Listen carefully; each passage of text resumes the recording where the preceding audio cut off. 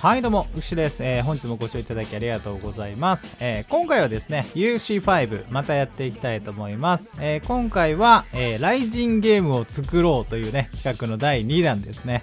え前回ですね、ライジンゲームを作ろうということでね、えー、まあ、堀口恭司選手対朝倉海選手っていうのをやってきたんですけれども、今回はですね、朝倉未来選手作ってみましたということで、えー、朝倉未来選手対、えー、平本蓮選手でやっていこうかなというふうに思います。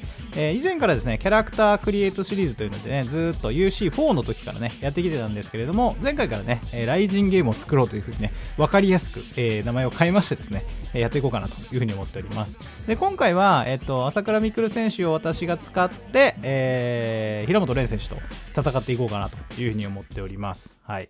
まあ、作り方のとこなんかもね、えー、またね、解説はやっていきたいと思いますので、えっ、ー、と、一旦ね、え、まずは試合の方ね、えー、まあ、試合でどんな感じで動いてるのかっていうのをちょっとね、見てもらいたいなというふうに思いますんで、え改めてよろしくお願いします。ということで、早速やっていきましょう。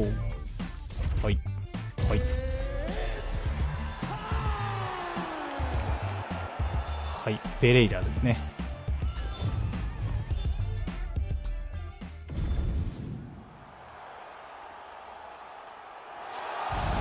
はいということで、えー、平本蓮選手からの入場ですね。はい、以前ね、えー、平本蓮選手、作り方のとこなんかもね、えーと、キャラクタークリエイトシリーズというので解説してますので、よかったらね、前の以前の動画なんか見てもらえたらいいかなというふうに思っております。まあ、選手作成でね作っていくのでもちろんね、まああのディティールに関してはいろいろ難しい部分はあるんですけどいろいろあるパーツを使いながらですね、まあ、なんとか平本蓮選手っぽい選手ができたらなということで作っておりました。まあ、ぜひよかったらね、えー、選手作成参考にしていただければと思います。まあ、あとはですね最近で言うとその朝倉海選手今回 UC5 ではまだそんなに作ってないんですけど朝倉海選手、えー、それから、えー、鈴木千尋選手か、え、作りましたかね。あと那須川天心選手とかあと武尊選手ロッタン選手とかですね、えまあ、ぼちぼち作っております。まあよかったらね参考にしていただければと思います。ああとあのちょっと前に力作なんですけど篠塚達樹選手作りましたねこれはかっこよかったんでよかったらぜひちょっと前の動画で出てますので見てもらえたらと思いますさあということで今回朝倉未来選手ですねまあもう未来選手といえばもう本当にねもうライジンをまたもう一段階、えー、メジャーにした本当に第一人者というかまあこの2人のね対戦というのもまあ近々見れるんじゃないかっていうふうに言われてるんでね、まあ、ぜひそういう風なことも含めてまあ、ちょっと再現じゃないですけどやっていこうかなと思います。で今回の朝倉未来選手を僕の方が操作して、えー、平本蓮選手は、まあ、コンピューターなんですけどそうですね、まあ、結構強い設定にしているのでなんとか頑張って勝てるようにやっていきたいなというふうに思います、はい、どうですかね。ディティールというかなんというか。多分ね戦ってる姿の、まあ、僕も毎回そうなんですけど顔とかパーツはねやっぱなかなかこう似せるのは難しいんですけどまあ、戦うスタイルとか、えー、そういうところは結構、ね、似たようなのを探してやっているので、まあ、ちょっとパッと見、えー、なんとかこう雰囲気が出てたらいいなというふうに思いますそうですね。まあ金網なんでね、まあ、ちょっとライジンではないですけどまあでも、ランドマークは金網っていう話がね、この間ちょっとあのコメント欄で出てたんで、ああなるほどなっていうふうに思いましたね。ランドマークに見えるのかっていう風な感じですね。まあ、もちろん身長とか体重はね、えー、まあ、あのかなりリアルに近づけてやってるので、まあ、あのサイズ感みたいなのは多分比較できるんじゃないかなと思いますね。177センチみたいですけど、えー、ちょっと選べなかったので178センチみたいですね。いいですね。どうでしょうか、ミクル選手っぽいこの体つきと感じは出てるんじゃないかなと思います。はい、そして緑グローブですね。さあ、はい、平本選手強そう。おお、サウスポーにチェンジしてきましたね。えー、っと、平本選手、オーソドックスキャラなんですけど、急激になんと、サウスポーにチェンジしてきましたね。おい、ボディそう。うわ、強いね。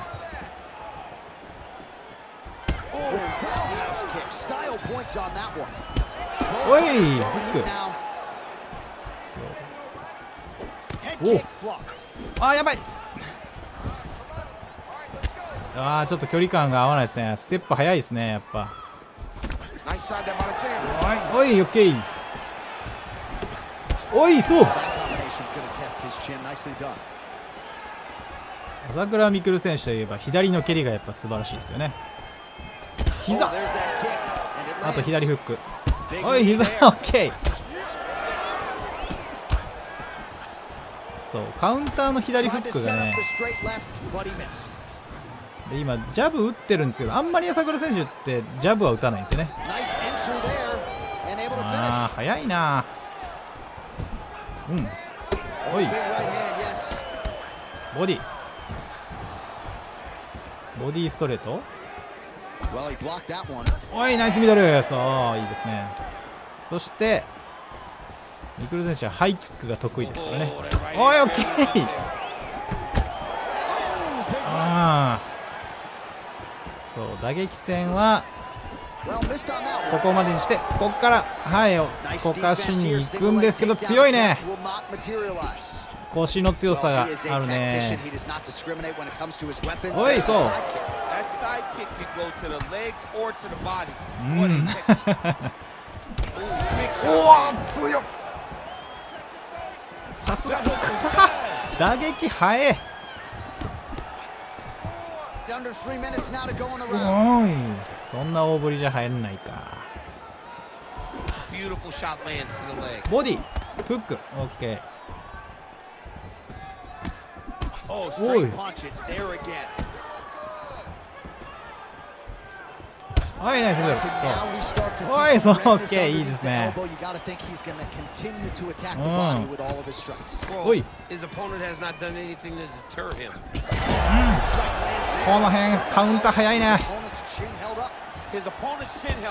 おいミドルそうあーっとお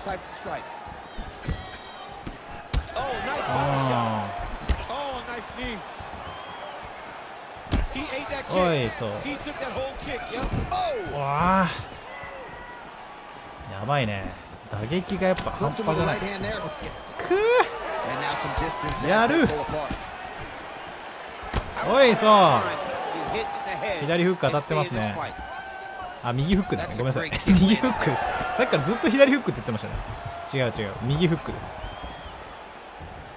イグル選手は右のフックのカウンターがしかしサウスポーに向こうしてくるですね。やっぱ戦いやすいのかな。あ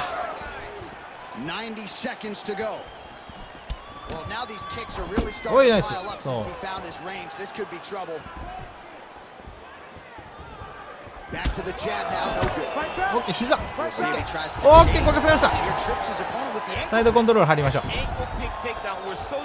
おい肘肘フルマウント入りました。オッケーもうここまで来たら。さあ削っていきますよ。おお強いね。フルマウント入る再びさあサイドコントロール取った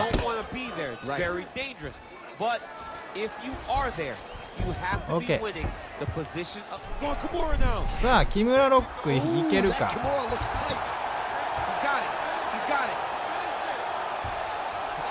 わあさすがにいけない。さあバックマウント入りますよ。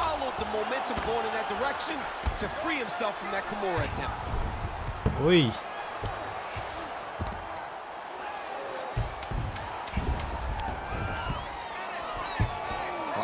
オッケー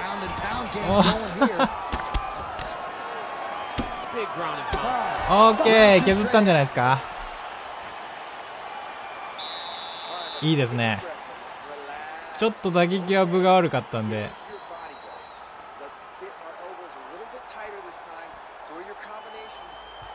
途中切り替えましたね。うん、このミドルは良かったですね。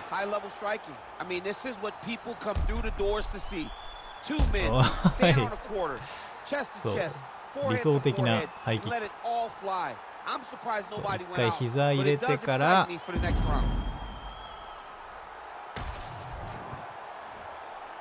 さああんな風に倒れてくれたらいいんですけどね。なかなかねはいグローブタッチしましょう。さあ右フックのカウンターが。おいおいナイス。そう うわ読まれてるよねさすがに。オッケー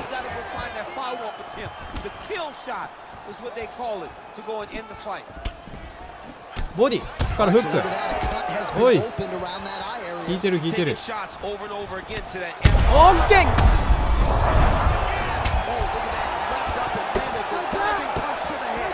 おい。おいおいマジか。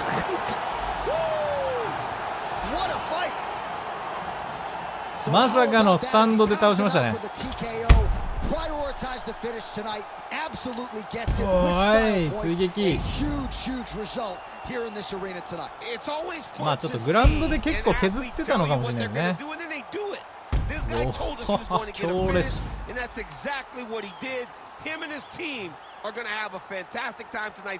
最後はパウンドでしたね。これ肘。ゴあ肘が効きましたね最後ねはいということで。いかがだったでしょうか？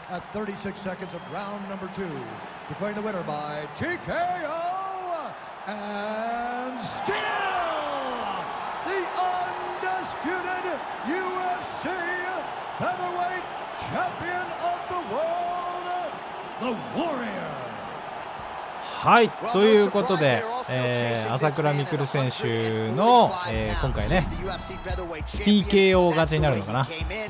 はい。最後はパウンドでしたね、はい、ギリギリ。ギリギリ噛んでました。いやでもやっぱりね本当にあの難易度まあハードだったんですけど、まあ、多分ねちょっとねこれやる前に、えー、1個前にその録画する前に1回やってるんですけどその時ボッコボコにやられたんですよ。だからちょっとねもうそのスタンドで行って勝負してもうバチバチにカウンターを食らって負けたのでまああのやっぱね勝負は時の運というかさっきあのオーバーハンドがうまいこと当たりましたね。あれがやっぱり決め手でしたね。あれがもし逆にカウンターを食らってたら負けてたかもしれないですね。はい。ということでなんとか最後は、えー、寝技ではなく、えー、スタンドからの、えー、パウンドで勝ちましたという感じですね。面白かったですね。試合的にもなんかすごい良かったんじゃないかなと思います。はい。えー、っと、そうですね。全体的に、まあこんな感じになりましたというところでした。はい。ということで、えー、ここまではね、えー、朝倉未来選手対平本蓮選手の試合っていう風な感じでね、見てもらいましたけど、いかがだったでしょうか。まあ、なんとなくね、雰囲気が出てたんじゃないかなと思います。で、ここからですね、朝倉未来選手の作り方のところまでね、えー、ちょっと解説していこうかなという風に思いますので、えよろしくお願いいたします。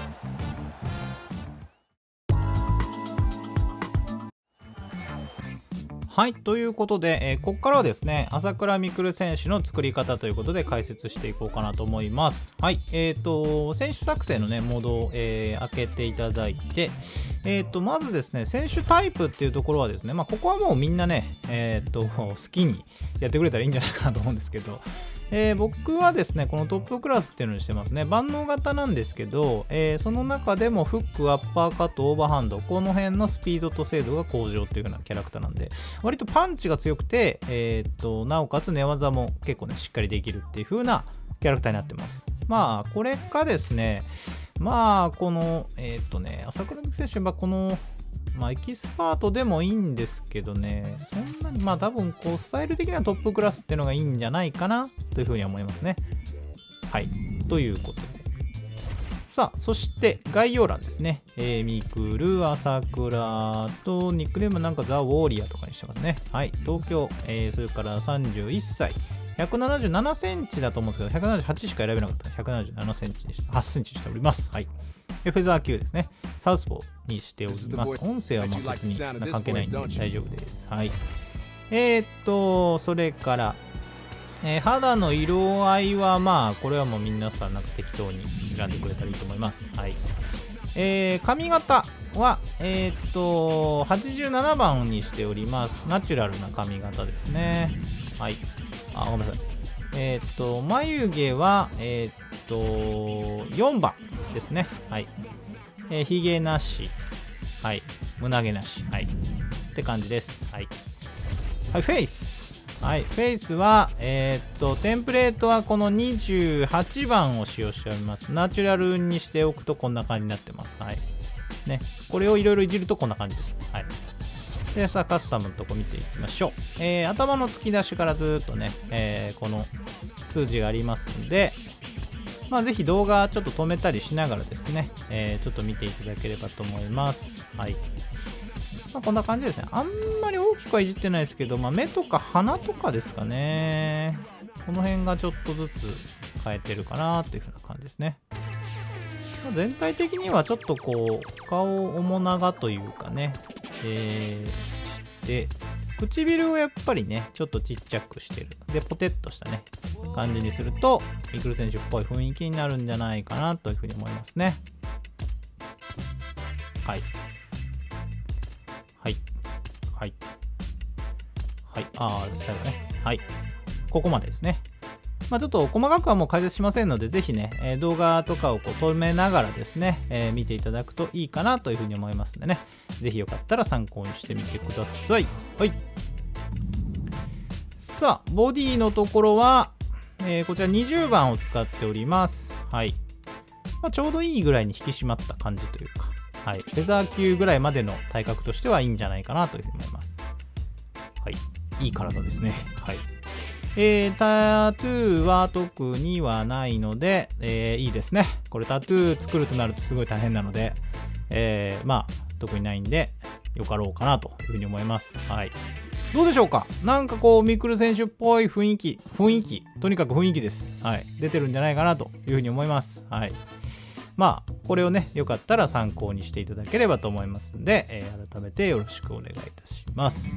はい、ということでね、今後も、まあ、いろんな、えー、来人出てるような選手のね、えー、作戦について、え、まあ、いろいろ解説したりとか、まあ、対戦したりとかね、え、やっていきたいなと思います。まあ、どんどんキャラクター増やしてね、えー、来人ゲームのようなものを、あの、この NC5 でね、作っていこうかなというふうに思いますんで、えー、改めてよろしくお願いいたします。ちなみに、えー、っとですね、今どのぐらいいるかっていうのだけ振り返りましょうか。あの、この2人はね、あの、キャリアモードで使ってるやつですね。はい。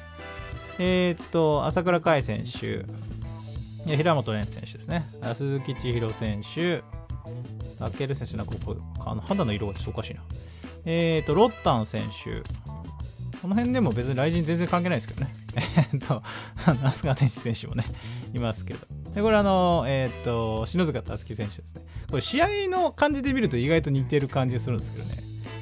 あとこれあの、篠塚達樹選手対富澤大地選手でやったんで、なんかこの富澤大地選手っぽい感じのキャラクターですね。あと、堀口教授選手。体格はそっくりじゃないですか？体格。えっと、だから朝からミクル選手ですね。こんな感じで、ちょっとずつ増えてきてますという感じですね。今回あの、かなりね、キャラクターいっぱい作れるんで嬉しいんですよね、UC5 はね。前はあの、20人も作れなかったんかな。消しながらやってたんですけどね、まだ全然埋まらないんで、えー、まあ、ちょっとずつまたね、作っていこうかなというふうに思っております。はい。ということで、えー、またね、今後もやっていきたいと思いますんで、またあの、キャリアモードの方でもね、えー、ずっと UC5 やっておりますんで、よかったらそちらもね、えご覧になっていただければと思います。はい。ということで本日もご視聴いただきありがとうございました。また次回の動画でお会いしましょう。またね。